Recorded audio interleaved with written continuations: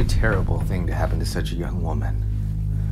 Did Annabelle ever stay after school to work on her English assignments? Uh, yes, occasionally. Why do you ask? Did you see her last Monday afternoon after school?